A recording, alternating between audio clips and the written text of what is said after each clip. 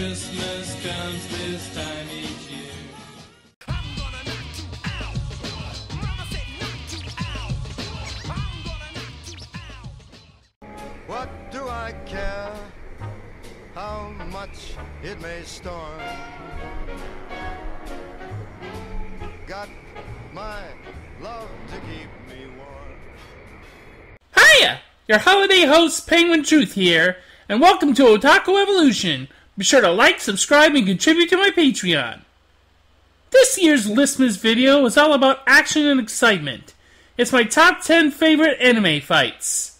Yes, I've come up with a list of the best bouts, the most delightful Donnybrooks to grace Japanese animation. Some of my choices will probably be unconventional. But let's get right to it, shall we?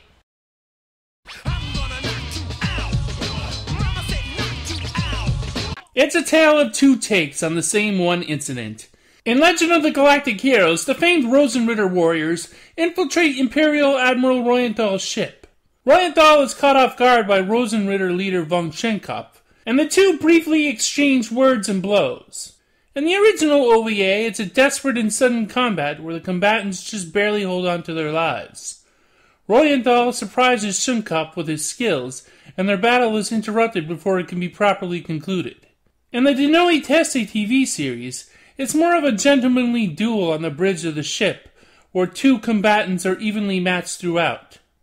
Both are great, if brief, encounters. シ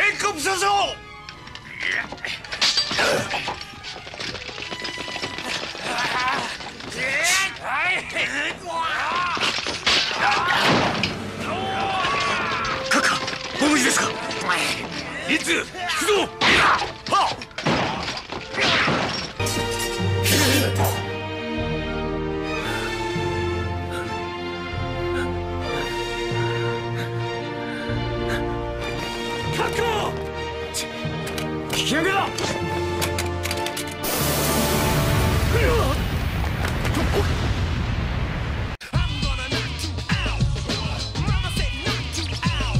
Another brief but memorable exchange is Bato's fight with Kuze in Standalone Complex. Once Bato's gun is done away with, it becomes a battle of knives and fists. Until Bato tries to grab whatever's handy, which Kuze uses against him. Bato mentions that Kuze's pain receptors are off, both have cyborg bodies. So the fight is much harder for our beady eyed ranger, because he has to make sure to knock him out. Kuze, meanwhile, just wants to immobilize Bato and be on his way, and does just that. The episode title, Embarrassment, is just that. Bato probably feels humiliated being pinned up by his quarry. Did you used to be in the Rangers? So what if I was? You fight well. I probably only won due to a minor difference in motivation. There are things that I still have to do. Don't follow me.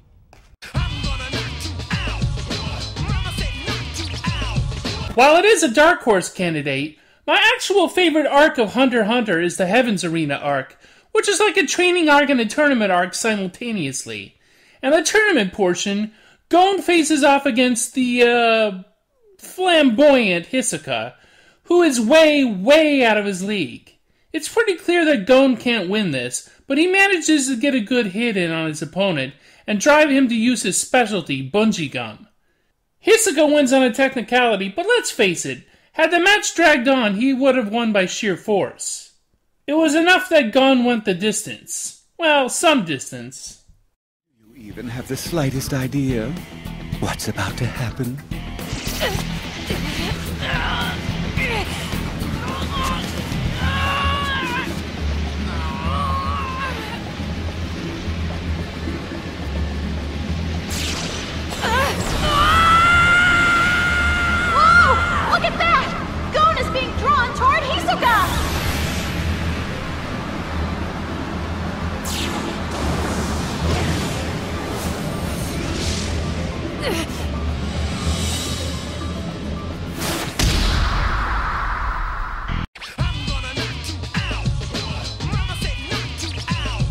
Witnessing the defeat of his grandfather at the hands of Dio, Jotaro is all fired up to take on the vicious vampire. However, as strong as his punch ghost, I mean Stand, Star Platinum is, he has to contend with Dio's The World, with its time freezing abilities. Jotaro manages to trick his opponent early on, but finds himself in real trouble when throwing knives are introduced. Jotaro isn't done yet, though, using Star Platinum's abilities to their maximum. Even after Dio drains Joseph of his blood and becomes an even more flamboyant menace, Jotaro still comes out on top at the end, finally putting an end to the century spanning threat of Dio. It's a grand battle with a good back and forth, tit for tat, using both brawn and brains. And while Stardust Crusaders isn't my favorite JoJo part, this is clearly the most iconic and best battle. There! How about a little blood in your eyes? I win! Die!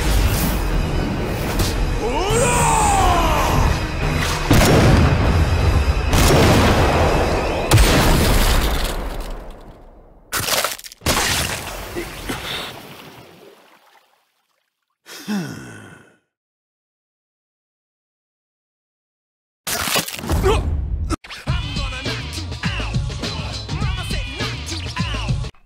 Spanning six episodes, Goku's epic showdown with Piccolo at the 23rd Tenkaichi Budokai is, overall, the best single fight in the annals of Dragon Ball.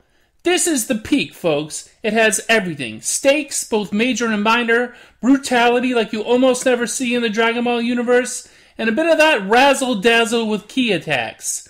We see both combatants locked in intense combat, using techniques like you never saw before and many you never see again. It's pretty palpable for a DB fight, so you feel the exhilaration of Goku's victory when it arrives. That's what a lot of anime fights miss out on, though for its length, it damn well better have an exhilarating victory.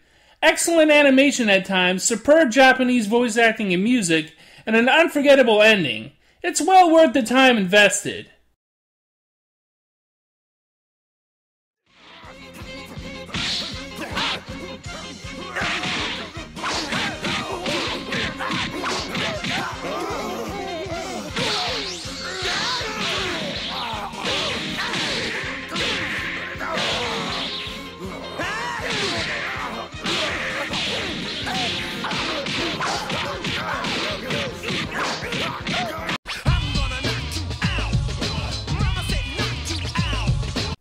Evangelion is thrilling, but there's only one real fight scene, and it belongs to Asuka and her Eva Unit 2.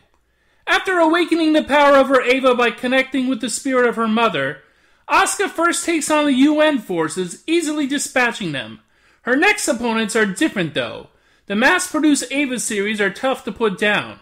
Even after throwing everything she has at them and appearing to beat them, they overwhelm her, leading to a pretty gruesome scene. But you have to hand it to her, she gave her all and impressed. For a few moments, you believe she wins.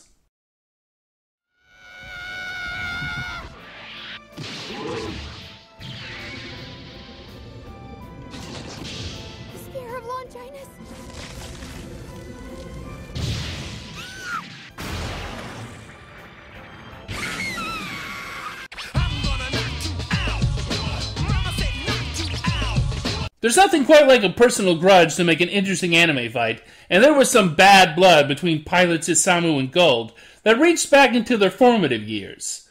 Their animosity comes to a head when Guld is sent after Isamu, who intends to crash the UN Spacy ceremony. The two are lucky so many people are at the Sharon Apple concert because the level of destruction on display in this bout would surely otherwise cause multiple casualties.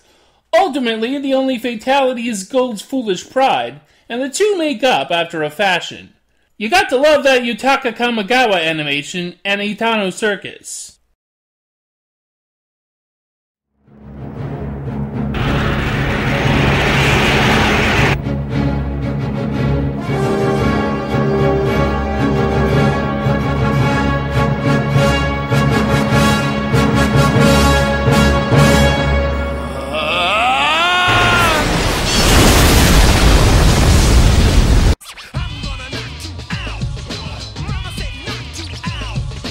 The culmination of a bitter rivalry, Amuro's fight with Char, Nu Gundam vs. Sazabi, on the burning asteroid Axis is one for the ages.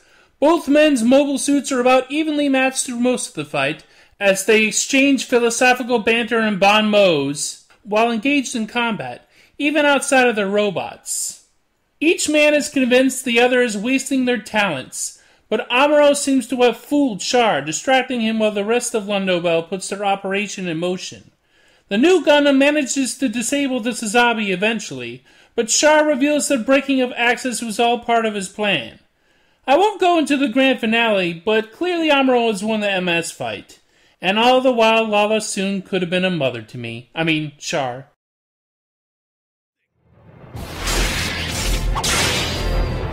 My saber's weaker than his? Huh?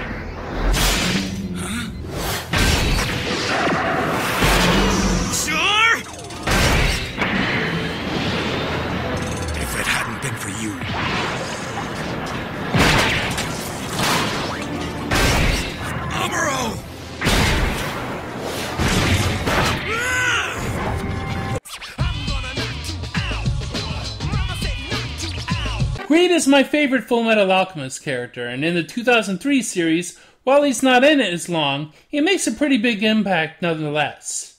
Weakened to the point of exhaustion by a trap laid by Dante, Greed decides to go out on his own terms, engaging in one last battle with Ed, who is desperately looking for his missing brother. Ed's ingenuity as an alchemist and flexibility as a fighter comes in handy, as does Yutaka Nakamura's animation's fluidity. I really get the sense of danger and finality to the fight. The music and setting add to a great atmosphere for the fight to take part in. Brotherhood couldn't top this. Let's start. Let's finish!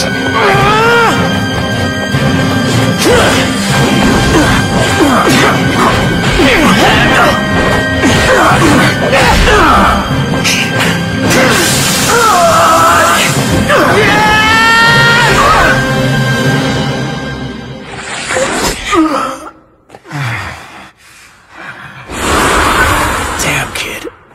Was good.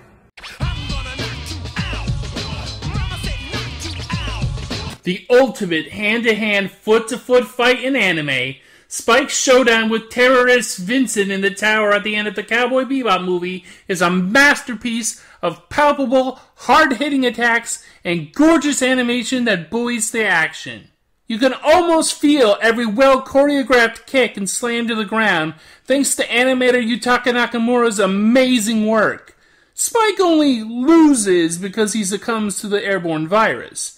It was all a distraction while the nanomachine vaccine could spread, though, so while Spike loses the battle, he wins the war. I always come out of this fight pumped up. It really is brilliant. This is what animated action ought to be.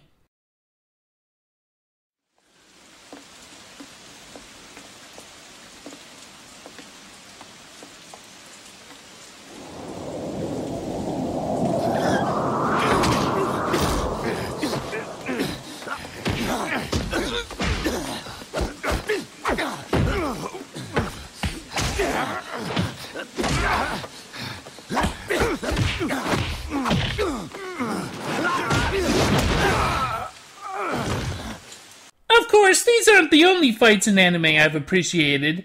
There's definitely room for honorable mentions.